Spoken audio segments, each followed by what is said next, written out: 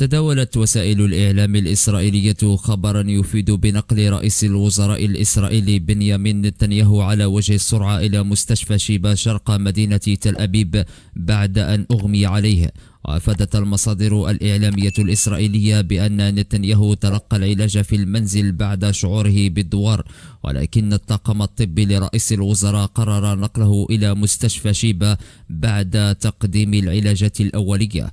وذكرت صحيفة أكسيوس الأمريكية أن نتنياهو يشعر بالخوف من فقدان الدعم الدولي لإسرائيل في حالة تمت الهدنة وذلك حسب ما صرح به للإدارة الأمريكية نقلا عن مسؤولين أمريكيين.